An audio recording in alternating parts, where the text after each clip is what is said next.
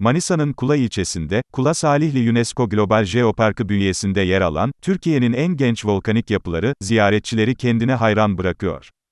Park alanı içerisinde, Kula Divlit Cüruf konisi ve lav akıntısı, parazit koniler, spider koniler lav tünelleri ve hendeklerin gözlemlenebildiği alan, ziyaretçilerine Türkiye'de eşine az rastlanabilecek bir deneyim sunuyor. Yaklaşık 3 kilometrelik yürüyüş yolu üzerinde, ziyaretçiler hem 11 bin yıl öncesi volkan akıntılarının bıraktığı etkileri deneyimliyor, hem de ahşap köprüler üzerinde zamanda adeta yolculuğa çıkıyor. Öte yandan Kula'nın Sandal mahallesinde bulunan Divlit Tepe volkanitleri de, ziyaretçilere eşsiz deneyimler sunuyor.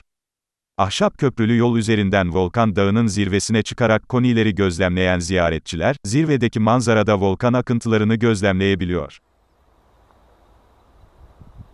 Senede veya haftada bir araç gelirken bu Covid döneminden önce hafta sonları 20-25 otobüse ulaştığımız günleri yakaladık. Yani bir hafta sonları insanlarımızı hem il dışından, ilçelerden, diğer illerden ve Türkiye'nin her yerinden insanlarımızı, e, yurt dışından insanlarımızı burada ağırlamak. Onları hem kullanın e, çok güzel üzüm bağları var. Ee, onlara hem o alanları gezdirebilmek, hem kulağı evlerinde yatırabilmek, burada konaklamalarını sağlayabilmek.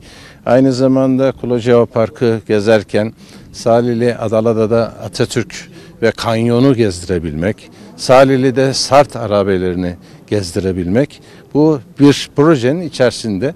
E, Büyükşehir olarak da biz de bu işte işin bir bacağı olan e, buradaki mevcut e, Kula ziyaretçi merkezini hayata geçirebilmek artık %70-80'lere yaklaştığımız bir noktada tahmin ediyorum en kısa süre içerisinde burasını bu yazın ortaları gibi inşallah hayata geçirme noktasındayız.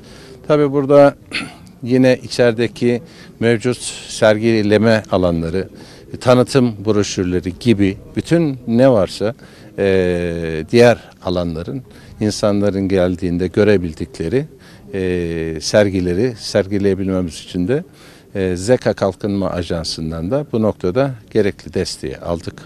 E, o açıdan el birliğiyle hem Kula Belediyesi, hem Manisa Büyükşehir Belediyesi, hem Manisa Valiliği, e, hem Zeka Kalkınma Ajansı, e, Kültür Tabiat Parkları Fonu gibi e, fonlardan hepsini bir koordinede bunları hayata geçirebilmek için e, çaba gösteriyoruz.